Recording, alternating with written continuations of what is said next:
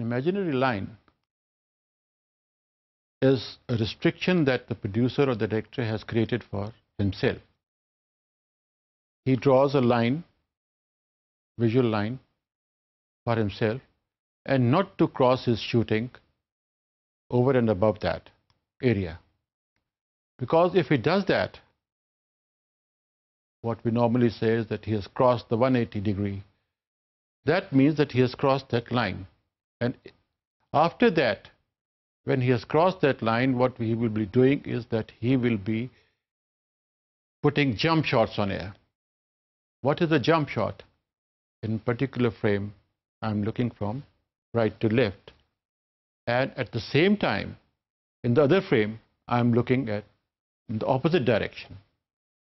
And when the intercutting is there, the viewer gets a feeling of irritation. And that irritation is called the jump shot. Sometimes it is done deliberately to create an effect. And that has to be done with a great mastery.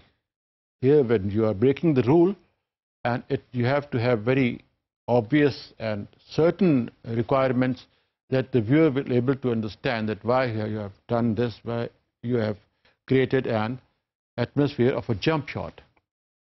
So this is what is an imaginary line.